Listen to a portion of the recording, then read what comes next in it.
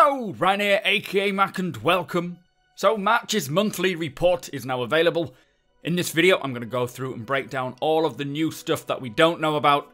Obviously, a lot of what they have been working on has been Alpha 3.5, but we'll skip over most of that apart from a couple of sections. Kicking off with AI and characters, they've improved the combat behaviours to make it easier to assign different tactics to characters. Plus, they've integrated the collision avoidance system so that AI walk and avoid items in their path realistically. For AI ships, they've implemented new pilot skill levels which vary the agility of enemy ships and determine how they balance self preservation and aggression.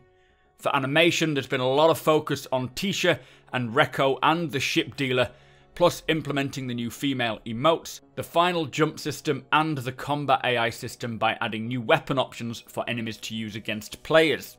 The art environment have refined and tweaked places like Hurston and Lorville to improve the visual experience, also looking into ways to better scale the natural features like canyons, and we got this really cool image.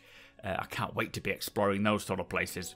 For tech art, they have worked on the UI for the character customizer version 2, which is coming in 3.6. Done some tasks to extend the DNA gene pool, which were completed. This will expand the current 9 heads uh, we have available to choose from in 3.5. And also fixed a lot of weapon related bugs and helped with the first implementation of the new usable system. In audio, they have worked heavily on the new flights model sounds, which include effects for strain and vibration, afterburners, maneuvering thrusters, and atmospheric flight. They've spent a lot of time on Area 18 and the new weapons, which came in 3.5, improved some of the Foley sounds, like better footstep material recognition, redesigned depressurized footsteps, and varying footstep effects depending on character's heaviness and footwear. And I have to say, I have noticed, depending on whether I'm wearing uh, an armor piece or just a jumpsuit, the, the difference in sound. It actually sounds like you are stepping heavier but also wearing more things. For design, they've improved the ECN and NPC spoofing missions, basically when NPCs send out service beacons requesting help. And in regards to economy, a system was built to create a robust and modular representation of item variants, which is now ready when needed, and inventories were all added to the new locations as well. In engineering, the teams worked on a TSAA with general quality improvements resulting in less flickering and a sharper picture. For hair, they added an experimental option for custom tangents, amongst other things, plus they've added card support for hair physically based rendering shader. For planetary ground fog, this is coming in 3.6. They refined the proxy mesh tessellation. They did the first ray marching test and implementation and refined modelling of the fog gradients over terrain. Unfortunately, they've not really shown as much of that, and I'm really looking forward to seeing how this will create this uneasy ambience around planetary locations. It's going to be really cool. They're also improving load times by creating a new load time profiler, amended the I/O scheduler for SSDs and hard drives uh, to give faster times and response, and vastly improved file access in the shader system to speed up initialization at startup. For features in gameplay, they've worked on improvements to the video com streaming along with the character customizer and female characters. In features vehicles, they've done improvements to the gimbal weapons, the radar and scanning system, and the item port tech, plus a final stretch spent fixing game crashes and bugs. For graphics, the team better aligned the sun and shadows with fog in large spaces, like hangars, and fixed a persistent glitch with indoor lights.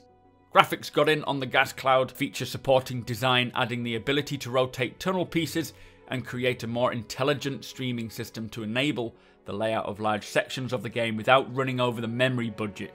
In level design, the planning has begun on the procedural tool and the next set of procedural space stations. Prototyping was also done on cave layouts, and potential gameplay was ideated in cooperation with environmental art team. Hopefully, we'll get to see a little bit more on what type of gameplay they have uh, for version 1 of the cave layouts. It would be interesting to see. For lighting, they've mostly focused on Area 18, uh, ensuring that the maximum lighting quality was reached but within a defined frame budget for performance reasons, along with lighting for the character customizer and Echo 11 map in Star Marine. Narrative worked on creating the procedural nodes and manufacturing locations for all of Star Citizen's corporations for the expanding economy system. This also means a review of item inventories in Stanton's shops to ensure that they carry items appropriate to their location. They've also filled Area 18 with a variety of posters, ads, and props. Plus, apparently, Alpha 3.5 will provide the first look at the new Banu language, and it says to keep an eye out for that. I think it might be a poster. Potentially, we'll have to have a look at that one. Uh, QA has focused on any issues with the new mission givers, Uh, improving the transit system and memory corruption testing to help track down crashes that occur randomly during general gameplay. Ship Art have spent time getting the components modelled uh, and work has moved on to a new ship which is currently in the white box phase, it didn't specify which. Work also continues on the Banu Defender to get it through the grey box phase, it's assigned extra help to ensure that it's completed in time due to everything on the ship being brand new and not reused from other ships. In system design, Walla actually received a unique mining resource called Atasamite, and the bartender and vendor AI behavior has been added to to make them serve drinks or give players items from a shelf and a weapon rack. Turbulent worked on the voice servers, which were upgraded with the benefit of RTCP, which is a data channel. This improvement enables active speaker detection in comms channels, so prioritizing a speaker, uh, and continued to improve the long distance calls. For UI, they've progressed on the area map to help distinguish between different floors of an interior. Really looking forward to getting the, in the interior maps. We've not really seen it much since the last time. Uh, for vehicles, the 890 jump just completed the grey box phase and is now heading into final art. The Carrack now has a whole engineering section done to Greybox, and in habitation, it's only missing the captain's quarters, which is to be Greybox complete soon. The Vanguard series is heading into the final art stage with the rear section and cockpit both receiving a pass. Character concept team was actually called on to build the foundation for the Tevarin species that will be used to help design the Esperia Prowler, which is quite exciting.